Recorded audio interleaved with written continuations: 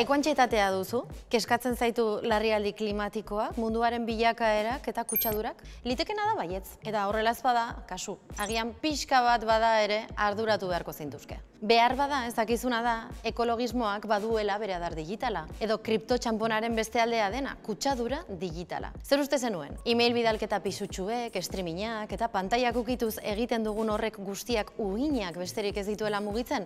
Bauker zaude?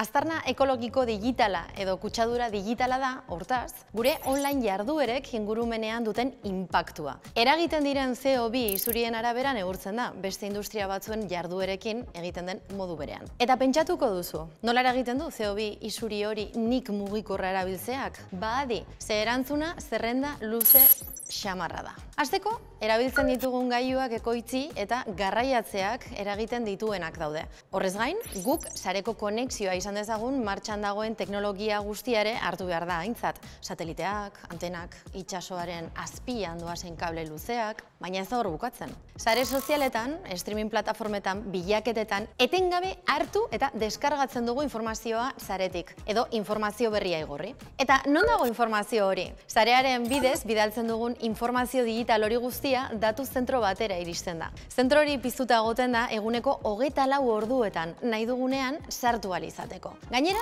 datu horiek guztiak dituzten instalazioek, ostuak eta bikoiztuak egon behar dute segurtasunagatik. Horrek gastu energetikoa eta ondorioz kutsadura handitzen ditu. Zentzu horretan, badira jarduera batzuk beste batzuek, baino CO2 gehiago sortzen dutenak. Streaming emanaldiak adibidez. Edo baita kriptotxamponak minatzeko behar den prozesuak ere. Zenbakiak nahi dituzu?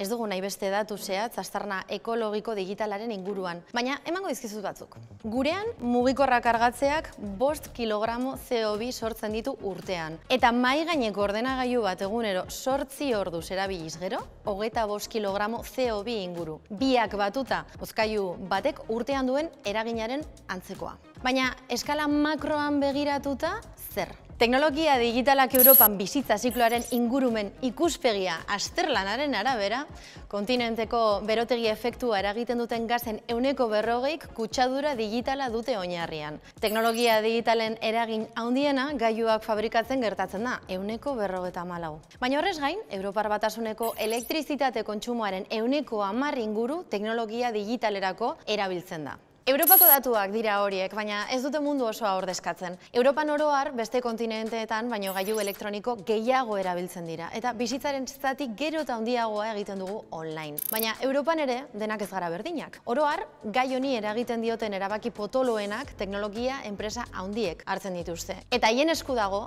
zenbait pauso ematea. Fabrikatzaileek adibidez, alik eta material jasangarrienak erabili beharko lituzkete. Eta bide batez, bizitza luzea izango duten gailuak sortu. Software sortzaileek ere badute ardura. Zenbat eta aplikazio simpleagoak egin, zenbat eta algoritmo optimizatuagoak izan, orduan eta energia gastu txikiagoa eragingo dute. Baina datu biltegietan dago pastelaren zati gero eta handiagoa. Zarean dagoen informazioa ia amaigabe guztia dago nonbait pilatuta. Eta nonbait horrek etengabe egon behar du piztuta, temperatura eta kondizio egokietan. Horregatik, enpresarien ardura da energia berriztagarrien aldeko apostua egitea. Datu biltegien energia premiak asetzeko. Hori guztia, enpresei dagokiena da, baina zer da gorduan zure eta nire esku. Hona aukera batzuk. Bat, gaio elektroniko jasangarriak hautatu, ondo zaindu eta haien bizitza luzatu. Ez aldatu gabe. Bi, ez egin pisu handiko bidalketak beharrezkoa ezpada. Iru, soiek garrantzitsua den informazioa gorde online. Helburua da, zerbitzariei eta datu biltegiei ahalik eta lan gutxien ematea. Lau, Zare sozialetako jarduera murriztu. Partekatzen dugun eduki guztia gordetzen da nonbait. Bost, erabiltzen ez ditugun aplikazioak desinstalatu, bateria alperrik erabilez dezaten. Bukatu horretik gogoeta osagarri bat, hau guztia pixka bat erlatibizatzen lagun dezakena. Jarduera digitala kastarna ekologikoa usten du? Bai, argi dago. Baina ez da astu behar jarduera horietako batzuek mundu fisikoan egiten genituen beste batzuk ordezkatzen dituztela. Eta beraz, balitekeela, azken batean, kutsadura murrizteko bidea izatea. Kasu batzuetan behintzat. Argi dagoena, hause da. Munduari ekologismotik begiratu nahi dionak, gero eta gehiago begiratu beharko diola baita ere kutsadura digitalari. Urren arte.